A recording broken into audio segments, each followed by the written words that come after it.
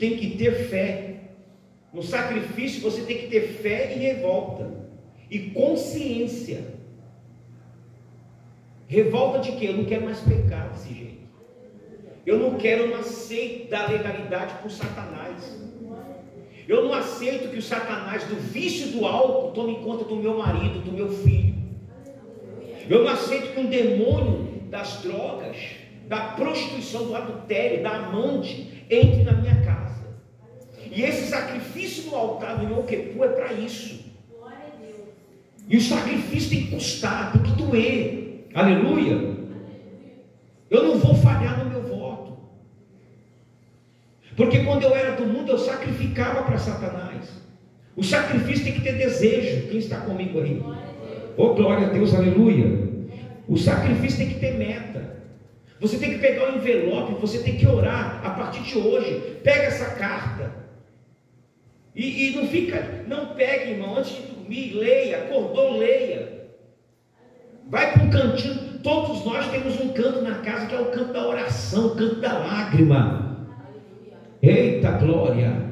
É o canto do joelho. Todo mundo tem um cantinho de lá em casa, na sua casa, que é o canto. Pega, leia, é uma oração, é um salmo. Está ali, ó, a tua oração é um salmo.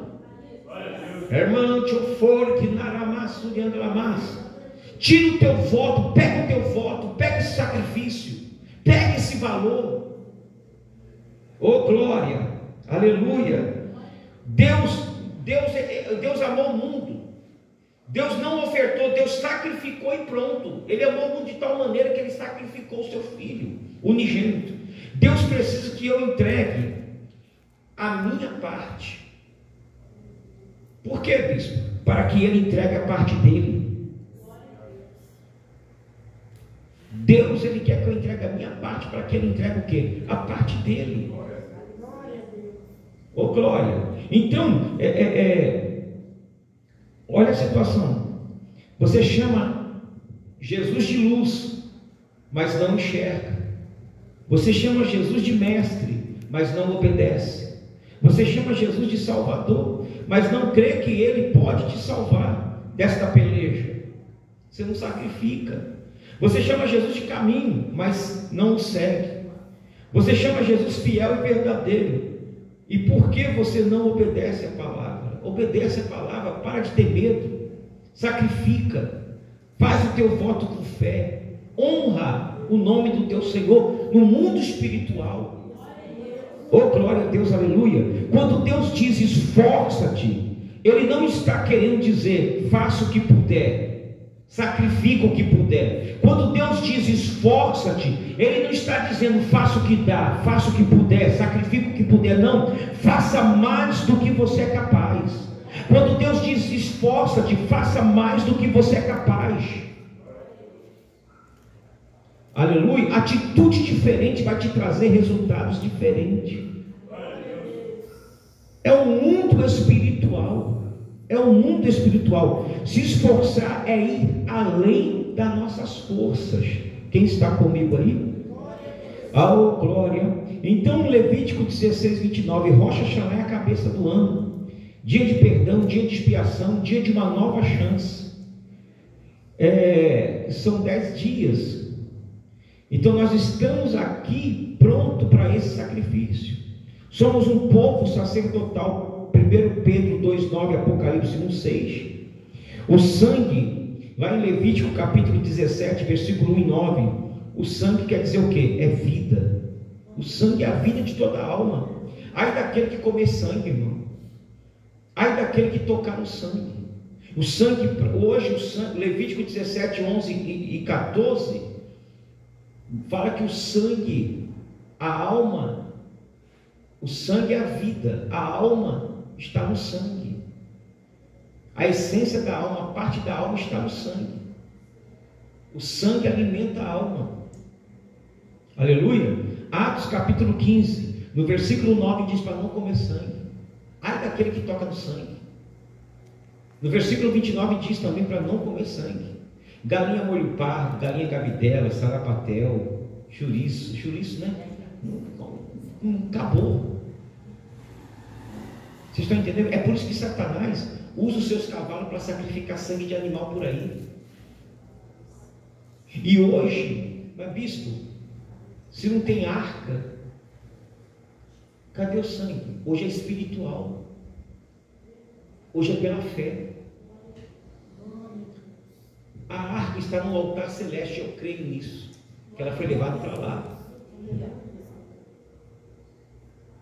Eu creio nisso. Hoje o nosso sangue simboliza nosso tempo, nosso suor, nosso gasto, nosso dinheiro. O nosso suor para conseguir o dinheiro, nosso tempo, nosso estudo, as pestanas dos olhos queimando para estudar, para ler, nosso salário, aleluia, e é o que Deus multiplica. É por isso que no nosso dinheiro está escrito: Deus seja louvado. Seja na nota de dois reais, na nota de cinco, na nota de dez, na nota de vinte, na nota de cinquenta, na nota de, de cem reais, está escrito Deus seja louvado. Já tentaram tirar, mas não conseguiram. E o sangue tem que circular. E, e, a nota de dois, a nota de cinco, a nota 20, a nota de 50, a nota de 100 circula, tem circulado dentro da boca de fumo, tem circulado dentro é, é, é de, de, de, de, lugares de, de, como é que é, de prostituição, tem circulado dentro da política do país, aonde tem sujeira, tem estourado, é por isso que um cai, outro tomba, a casa cai ali, outro não é feliz ali, Ô glória, mas quando chega na casa de Deus, a prosperidade quando chega na casa de Deus, quem é cauda vira cabeça. Oh glória, com pouco a gente multiplica, a gente vence. Oh glória, o preço das coisas é o quanto de vida você dá em troca. O preço das coisas é quanto de vida você dá em troca.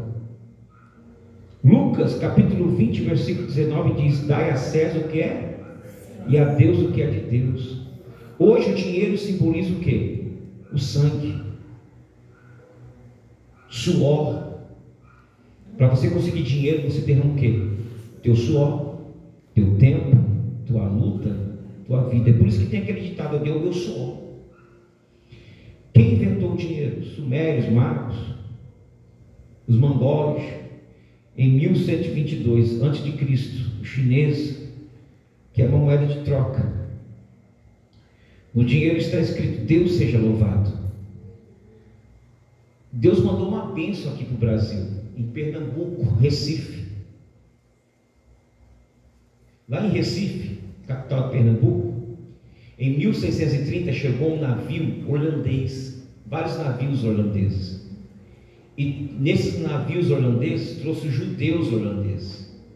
E com esses judeus vieram a bênção. Porque na vida dos judeus tem a promessa que Deus fez com Abraão: abençoarei quem te abençoares, e amaldiçoarei quem te amaldiçoares. O povo judeu foi escravizado pelos egípcios, faraós, Assíria, Babilônia, foram escravizados é, pelos persas, pelos gregos, pelos romanos, pelo nazismo de Hitler, mas ninguém conseguiu exterminar o povo judeu da face da terra. Aleluia. E esse Deus mandou esse povo, Deus mandou esse povo para o Brasil. Na, na revista Veja, tu lembra, bispo, o nome da, da edição da revista Veja? É a revista Veja? É. Ou isto é? Ah, é o, é o artigo da revista, esqueci agora. E eles fundaram em Recife a sinagoga Rocha de Israel. E eles construíram muitas pontes lá em Recife. Tem muito, muita arquitetura judaica lá em Recife até hoje. Mas eles, por briga religiosa, que é a igreja de Roma queria batizar os judeus à força nas águas. Nas águas não, pela igreja, pela religião de Roma. Só que os judeus não adoram imagem. Os judeus não adoram outros deuses. Eles só adoram Jeová e a fé. Quem conhece? Quem tem intimidade com esse Deus? Quem adora, oh, glória. Então, eles foram expulsos, não foi briga política, foi briga religiosa. Então muitos judeus se espalharam subindo pelo Nordeste. Quem tem sobrenome de Oliveira, Carvalho, Estrela, Estrela sobrenome Estrela, é, como é que fala? Ribeiro. Ribeiro. É tudo descendente de judeus aqui no Brasil, porque eles tiveram que fugir de Recife, a maioria, sabe? Talvez você é descendente de judeus aí, não sabe. Quer ver? Se você, se você aprendeu com seus avós, bisavós, de guardar a vassoura virado para cima, descendente judeu. Mortalha, morreu, põe na mortalha, descendente judeu. Não apontar para a estrela, senão nasce verruga, descendente judeu. Né? Porque no pôr do sol, as crianças judias têm a mania de apontar a primeira estrela, já é para guardar o sábado. Que quando o sol se põe, aparece a primeira estrela. Aí as mães dizendo, não faz isso não que nasce verruga. É verruga ou verruga? Vocês estão entendendo? Então, é descendência de judeu. Emborcar o sapato. Não pode deixar o sapato emborcado, descendência de judeu. Quem está comigo aí? E até alguém se alegrando aí. Ó. No Brasil tem muita gente com descendência de judeu. Mas vamos, vamos voltar para cá. E aí esses navios holandeses foram embora do Brasil, levando com eles a prosperidade.